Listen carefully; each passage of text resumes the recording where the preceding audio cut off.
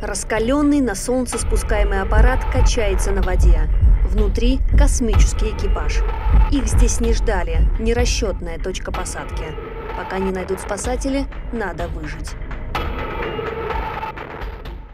Легенда учений не выдумывается на пустом месте. Вообще сценарий всех выживаний основан либо на реальных событиях, которые были в отечественной космонавтике, либо на тех нештатных ситуациях, которые могли произойти. Баллистики четко рассчитывают место приземления спускаемого аппарата. Но если нештатная ситуация происходит на станции, на орбите или же при выведении космического корабля или при спуске, то космонавтов может встретить не только Земля, но и вода. Готовятся к нештатным ситуациям на Земле. Даже если экипаж опытный и летал в космос, перед каждым полетом космонавты вновь идут на тренировки. Навыки необходимо оттачивать из года в год. Скажем, это разгерметизация, либо пожар э, в корабле, либо это на участке выведения, когда ракета стартует, не срабатывание третьей ступени, тогда мы куда-то в Охотское море, там, японское, валимся. И вот ради этого вот эти тренировки. Для этого тренировка нужны. назначена, да. Чтобы в любых климатогеографических зонах, куда мы попадем, суметь выжить э, средствами, теми средствами, которые имеются в корабле. Желательно на Бора-Бора. Там мы выживем. Или на Канарские острова. Юрий Лончаков, Михаил Корниенко и Скотт Келли – экипаж, который совсем скоро отправится на орбиту. Причем для Скотта и для Михаила это подготовка к совместному годовому полету. Экипаж один из самых опытных. Не один раз выживали и в пустыне, и в лесу, и на море в реальной качке. Сегодня словно экзамен на слаженность.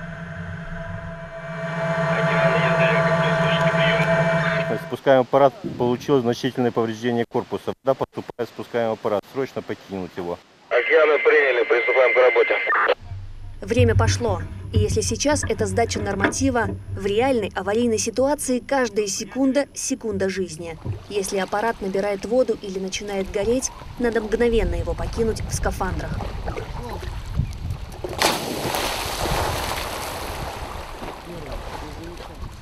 Вода заливает скафандр. За считанные секунды он намокает и тянет на дно. Держаться на поверхности сложно, да и грести в скафандре к месту эвакуации тяжело. Сложно будет всем, потому что это тяжелая тренировка, поэтому сложно будет всем. Ладно, раз просит, Олег. Поздравляю. Спасибо.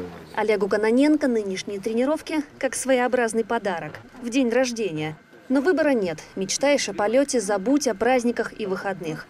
Для этого экипажа уже новая легенда и более сложная водная. Зато я помню, что было в прошлом году. И в этом запомню, видите. Был бы рядовым днем, я бы и не помнил, что делалось. В прошлом году Олег Кононенко в свой 48-й день рождения работал на орбите. Вскоре снова путевка в космос, причем в этом же составе с американцем Челом Лингратом и японским астронавтом Кими Юи. Это первая совместная тренировка будущего экипажа «Союз ТМА-17М». Аккуратненько, голову. Внутри аппарата температура растет с каждой минутой. В замкнутом пространстве троим тесно, дышать трудно, кислорода все меньше.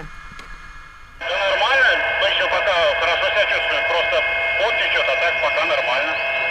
Сейчас на тренировке внутри спускаемого аппарата космонавты снимают скафандр «Сокол» и надевают гидрокостюм «Форель». И вот эту всю груду одежды они должны надеть под гидрокостюм.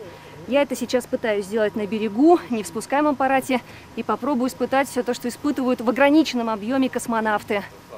Полетный костюм, шерстяной свитер, термозащитная одежда и комбинезон – все это надевают внутри аппарата. Пульс и температура тела резко повышаются. Может закружиться голова. Непромокаемый гидрокомбинезон «Форель» блокирует теплообмен. Космонавты будто в термосе, однако такое количество одежды пригодится, если поиски космонавтов затянутся.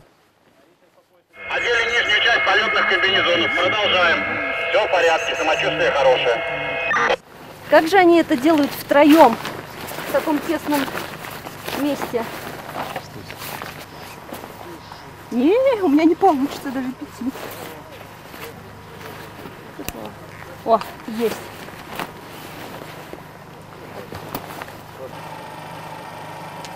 Собственно, вот я готова к покиданию спускаемого аппарата. На понтоне стою. Сейчас должна грамотно отделиться на воду. Сначала выбрасываю носимый аварийный запас. Так. Теперь не сгибая ноги. Это имитация обреза спускаемого аппарата. Ну и привет, надеюсь, не утону.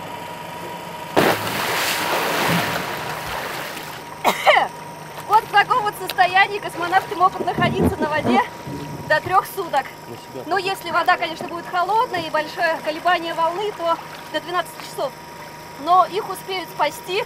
Я лежу реально комфортно. Правда, космонавтам надо работать, они гребут, плывут. Ну и, собственно, еще используют носимый аварийный запас. Здесь еда, вода. Продержаться на воде космонавты могут несколько дней. Вот так, дрейфуя, они продолжают выполнять послеполетную циклограмму выживания. Сигнал бедствия. Сначала зеркалом послать луч, потом ввести в действие сигнальную ракету, чтобы увидели спасатели.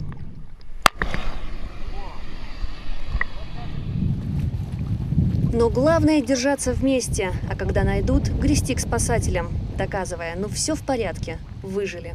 Вообще такая дисциплина у нас, когда мы хотим, чтобы она абсолютно точно выполняли все элементы, связанные с нештатной ситуацией при покидании, неважно, это в пустыне, на море и так дальше, но чтобы эта наука не пригодилась в реальном космическом полете. Мы всем желаем искренне желаем, чтобы этого не было. Это единственный случай, наверное, из всех практики, всех высших учебных заведений, когда мы желаем, чтобы практически не пригодилось использовать те знания, умения и навыки, которые приобрели в процессе тренировки. Подобные тренировки эффективнее всяких диет. После них космонавты и астронавты теряют до 5 килограммов веса. Но это необходимо. В преодолении трудностей рождается новая общность людей разных возрастов и национальностей. Экипаж космического корабля. И уже отправляясь на орбиту, они знают, никакая стихия им не страшна. Взаимовыручка, взаимопомощь, чувство локтя. И в прямом и переносном смысле. Да, Лена? Да, все было сделано слаженно, грамотно. Отличный командир, отличная команда.